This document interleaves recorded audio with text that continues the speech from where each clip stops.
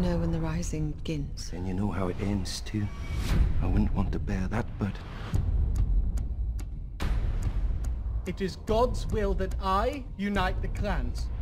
I spend my days and nights wheedling and flattering a man so I can gain his secrets and undermine his cause. I want to be able to turn to my wife for help.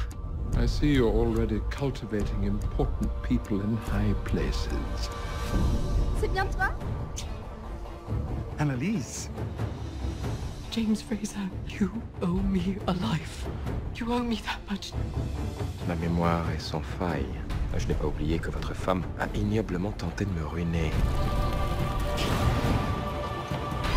I will lay just vengeance at your feet. Whatever happens, I'll make sure you're safe.